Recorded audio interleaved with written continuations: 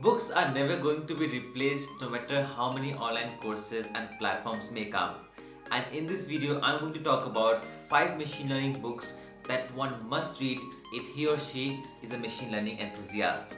Coming up.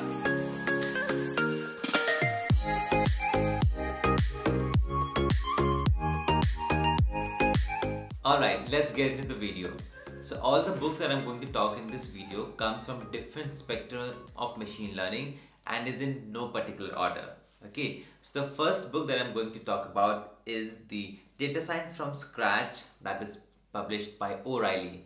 The author is Mr. Joel and it is the best book to get started with machine learning if you're very new to it. It has a scratch course on Python and also covers the basics of linear algebra, statistics and probability so that you have a very good basic foundation and later on get started with machine learning algorithms. It covers models like logistic regression, naive Bayes, clustering, k-means. The best part about this book that it does not uses any machine learning library and teaches you all these algorithms from scratch that is from Python whenever I go to any sessions or events, I always tell them that you need to learn how to write those algorithms from scratch other than moving into any machine learning libraries on the very first place. Also, it covers topics like MapReduce and databases that will help you learn a better broader scope than just machine learning and explore much more new possibilities. Also, it has a glimpse of deep learning and AI which you can probably get started and have a better view. So the first book that I refer is Data Science from Scratch by O'Reilly and the publisher is Mr. Joel. The second book is, this book might interest many guys and it's the Mastering OpenCV second edition and it's published by Packt. The author is Mr. David Millán. It's 250 pages book and it teaches you almost everything about image processing starting from the basics to up to a very good project that is based on Raspberry Pi. It also teaches you how you can use new 3D visualizations open of OpenCV 3. Also, it gives you an entire end-to-end -end project on how you can make a face recognition using a database and uh, that can actually identify faces that the faces which are stored in databases. So this Mastering OpenCV by Packt is I feel uh, a good book to get started if you're new into image processing. The third one is one of my most favorite and this book is very very famous across the YouTube and other platform and I also have that book. It is Hands-on Machine Learning with Scikit-learn and TensorFlow. Now as the name says, this book, this particular book is totally practical oriented.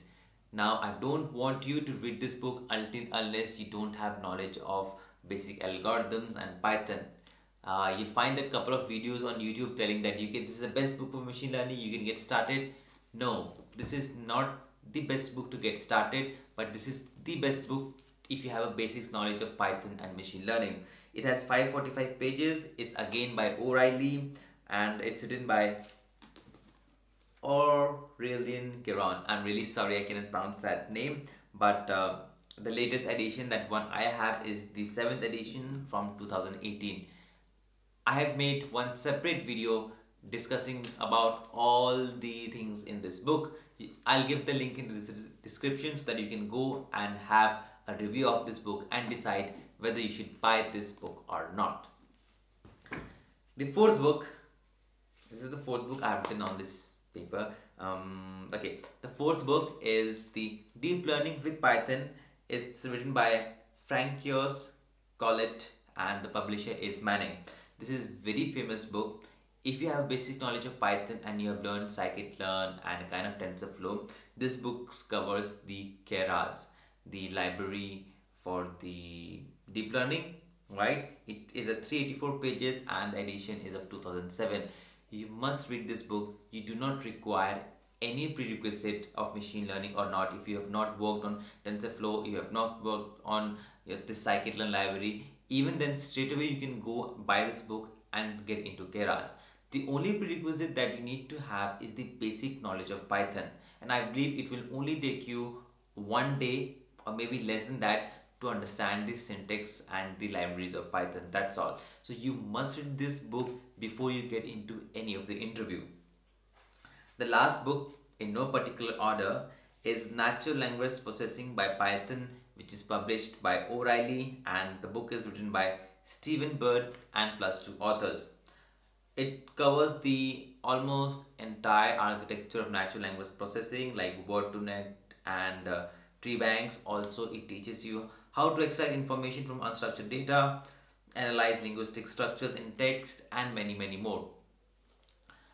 So if you uh, notice that in this video I have covered books from scratch, I have covered books for scikit-learn and TensorFlow. We also had the books for Keras, also for natural language processing and OpenCV.